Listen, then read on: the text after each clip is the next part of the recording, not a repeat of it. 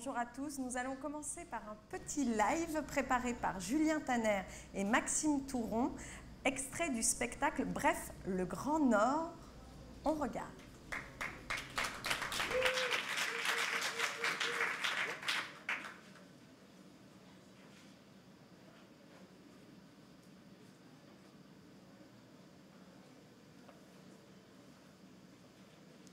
Je plante le décor. Le froid. La neige. Les forêts de sapins à perte de vue. Les aurores boréales. Bref, le Grand Nord. Oui, mais cette fois-ci, l'histoire se passe dans un pays où les rois s'appellent des tsars et les sorcières des Baba Yaga. Dans un royaume vivait un tsar et... Une tsarine. Exactement. Ils avaient un fils, Ivan Tsarayevitch. Mais le tsar et la tsarine étaient très malades et sans espoir de guérir jamais. Un jour, ils font venir leur fils Ivan et... Ivan Sarayevitch, nous sommes sur le point de mourir. Quand nous serons morts, écoute en tout point ce que te dira de faire Katoma au bonnet de chêne ton père nourricier, sinon c'en est fait de toi. Et à ces mots, il meurt. Le lendemain matin, Ivan enterre ses parents et se met à vivre comme on le lui avait recommandé. En tout point. Il suivait la vie de Katoma au bonnet de chêne, son père nourricier. Le temps passe et Ivan devient un beau jeune homme. Toutes les filles craquaient pour lui. Pas du tout. Il était robuste, vaillant, il montait à cheval comme les plus grands chevaliers du royaume. Pas du tout. C'était le genre de mec, quand il passait dans la rue, ça faisait clac, clac, clac, clac, clac, torticolis, quoi. C'était vraiment un mec. Pas euh, du tout, incroyable, du c'est tout, Ivan, c'est- du tout.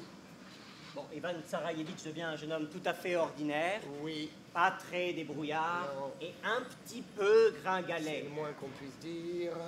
Mais comme tous les jeunes hommes à l'adolescence, il sent monter en lui À la sève de la jeunesse, quoi, ça le...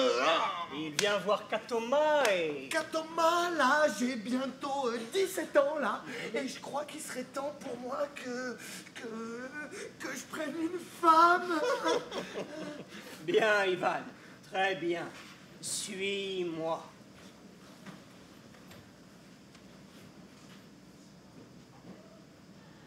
Arrivé en haut de la plus haute tour du palais, il pousse une petite porte et pénètre dans une pièce sombre. Katoma allume une bougie et là apparaissent devant les yeux d'Ivan Sarayevitch ébahi les portraits de toutes les princesses des royaumes avoisinants. Oh, toutes les princesses des royaumes avoisinants. Va, Ivan, fais ton choix. Ah oui Euh, Oh, Yvonne, la bonne. Hmm, oui, pourquoi pas, oui. Non, non, non, non, non, non, non. Oh, et Bertha Oh, gros bras Que penses-tu d'Ingrid, la frigide Ah, non, non, non, non, non, non, non, non, non. Oh, et Renato, le travelot. Non, non, Ivan, ça c'est pas pour toi. ça. Ah, et Véronique, celle qui pleure quand on l'aime. On va s'arrêter là, on est à la télé. hein. Oh, Anne la Belle. Anne la la Belle, Belle. oh oui, c'est elle que je Oh oui, Anne la Belle, oui, ça oui, c'est oui, une oui, grande oui, princesse, oui, hein. oui. puissante, Oui.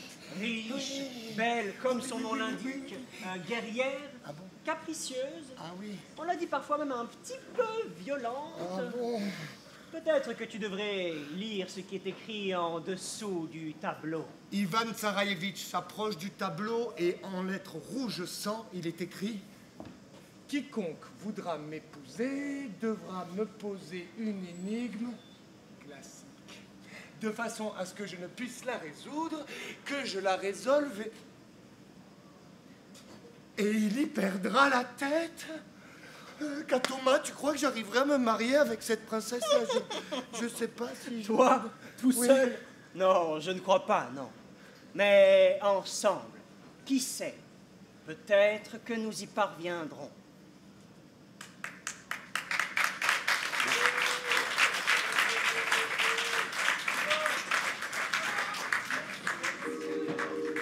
Merci Maxime, ce bel extrait de votre spectacle. Euh, donc, euh, je présente Julien. euh, Julien Tanner, il ne faut pas que je vous confonde, vous ressemblez tellement, euh, et Maxime Touron. Euh, bienvenue à vous. Donc ça, c'est un extrait de votre spectacle de contes nordiques. Euh, vous racontez trois contes. C'est ça. C'est donc au théâtre du Roi René tous les jours à 10h30. Euh, vous venez, vous avez formé une compagnie qui s'appelle le Scrupule du Gravier. D'ailleurs, pourquoi le Scrupule du Gravier? Ah, Oh là, faut, faire, euh, faut, faut la faire courte quand Ouais. même. hein. on l'a fait courte. Euh, scrupule, ça vient du latin scrupuli, et c'est un petit caillou pointu. Et le scrupule du gravier, c'est le petit caillou du petit caillou qui dérange le petit caillou. Du Gravier. Merci Voilà. beaucoup. Vous avez créé donc ce spectacle en 2012 à partir de contes et de mythologie nordique qu'on connaît assez mal finalement en France.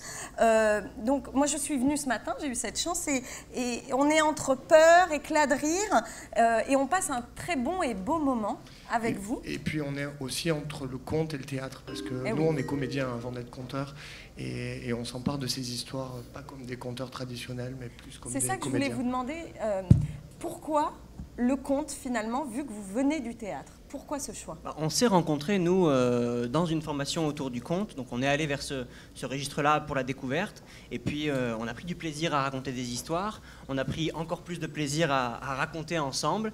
Et puis, comme ça se passait plutôt bien euh, aussi avec les gens, on s'est dit qu'on allait continuer. Et puis, depuis, on ne s'est pas arrêté. Quoi. Et, puis c'est un répertoire euh, fabuleux, quoi. Euh, dans tous les sens du terme, c'est, c'est des histoires qui ont, qui ont des messages très forts.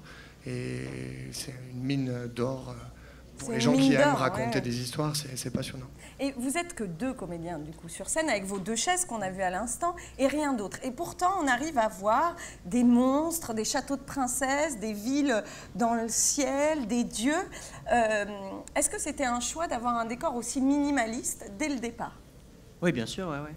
Bah, enfin, c'était le parti pris. euh, On, on voulait rester proche des histoires, donc euh, ne, ne pas ajouter ni accessoires ni décors, et puis, euh, et puis pouvoir s'emparer euh, entièrement des histoires par l'imaginaire. C'était, c'était un peu bah, une des clauses qu'on s'était données, nous. Enfin, Et, ça nous permet d'être très ouais. mobile aussi. C'est ça.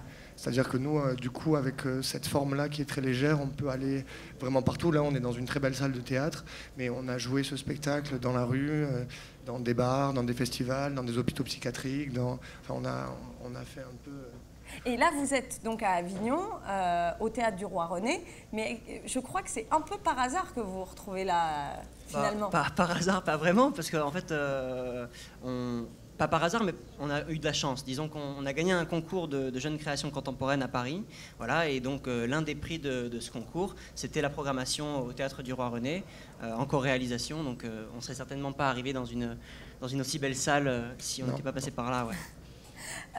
Je voudrais finir à- en vous posant une petite question. Les contes, on envisage tout de suite les enfants? Et moi, ce matin, quand je suis venue vous voir, il y avait pratiquement que des adultes. Finalement, est-ce que euh, vous aviez choisi un public enfant ou est-ce que, euh, de base, pour vous, c'était pour tout le monde? Non, non, pas du tout. Nous, quand on a créé le spectacle, on l'a créé pour euh, s'amuser, nous. Euh, donc, euh, il se trouve que ça parle très fort aux gens de notre génération, puisque les références et les, les mots qu'on emploie sont ceux de notre génération, mais les gamins attrapent euh, très fort ces histoires-là aussi, et puis les gens plus âgés de nous que nous aussi. Enfin, Tant Euh, qu'on aime faire le voyage dans l'imaginaire et, et rêver, euh, a priori, on peut partir avec nous. Quoi. En tout cas, moi, je recommande chaudement ce spectacle que j'ai vu ce matin, qui s'appelle donc Bref, le Grand Nord, tous les jours à 10h30 euh, au fait, théâtre du Roi René, sauf le 20 juillet, puisque comme le dit votre affiche, vous êtes à la piscine. et il nous tarde. Merci messieurs, merci beaucoup d'avoir été Merci avec à nous. Merci à vous.